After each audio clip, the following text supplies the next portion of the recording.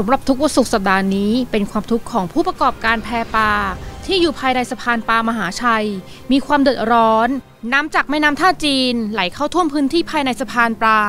ทำให้ต้องประกอบกิจการขนปลา เป็นไปด้วยความยากลำบาก ทั้งคนทั้งรถ ต้องลุยน้ำกันเป็นประจำ ขึ้นลงปลาก็ลำบาก ซึ่งเป็นแบบนี้มาประมาณ 3-4 เดือนแล้ว เมื่อเวลาน้ำคลองไหลเข้าท่วม จะท่วมเต็มพื้นที่ หากจุดไหนต่ำมาก จะมีระดับสูงเกือบถึงเข่า ชาวบ้านบอกว่าสาเหตุเป็นเพราะเครื่องสูบน้ำที่สะพานปลาชำรุด ยังไม่ได้รับการแก้ไขอย่างจริงจัง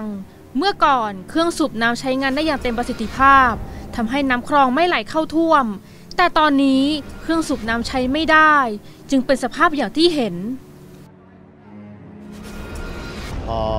น้ำท่วมอย่างเงี้ยข้างล่างเนี่ยจะน้ำท่วมมาถึงข้อขาข้อเข่าแล้วครับ แล้วก็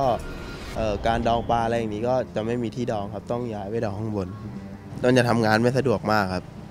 จะเป็นช่วงเวลาน้ำขึ้นนะครับ ช่วงประมาณ8โมงบางทียัน8โมงถึง3โมงน้ำก็ยังไม่ลงเลยก็มีครับผม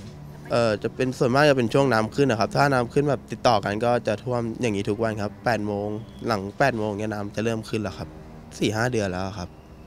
เห็นเออองค์การเขาบอกว่าเออปั๊มมันเสียครับ ปั๊มตัวตัวปั่นน้ำออกเนี่ยมันเสียครับ แล้วทีนี้เขาก็ตอนแรกก็ยังไม่เห็นเขาทำอะไรมากครับ แล้วตอนนี้เขาเพิ่งมาเริ่มทำมันก็ยังดีขึ้นนะครับ มันก็ยังมีท่วมนิดนึงก็ดีกว่าเดิม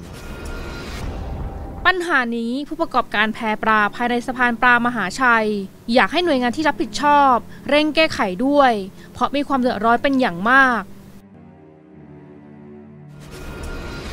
ก็อยากเขามาดูแลพวกปั๊มน้ำอะไรอย่างเงี้ยครับ ให้เขาแบบน้ำขึ้นก็ให้เขาเปิดแบบเปิดแบบให้มันดูดออกไปแบบไม่ให้มันท่วมเยอะเกินนะครับ เพราะว่าพวกเขานี่ก็เดือดร้อนกันเหมือนกันครับ และสำหรับคุณผู้ชมที่มีปัญหาเดือดร้อน และต้องการร้องเรียนเพื่อให้หน่วยงานที่เกี่ยวข้องเข้ามาดูแล